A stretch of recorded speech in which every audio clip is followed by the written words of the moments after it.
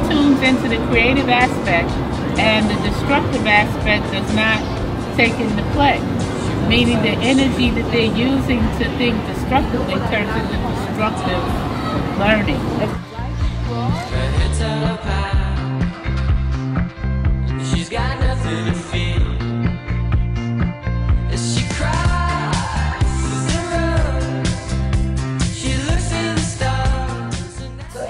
Will come here and will, and you will show them the creative process.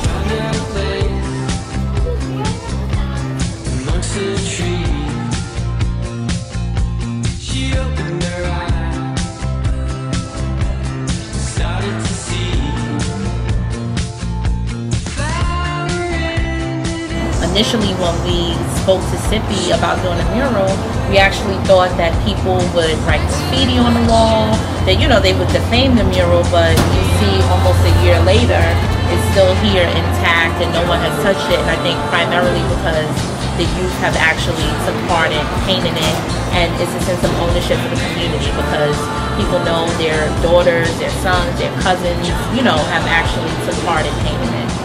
Think, um, maybe in 10 years, when you look back and you've been a part of the mural, what, what do you think, how do you think you'll feel? I'll feel like I made history, and I feel like this is, and I told my children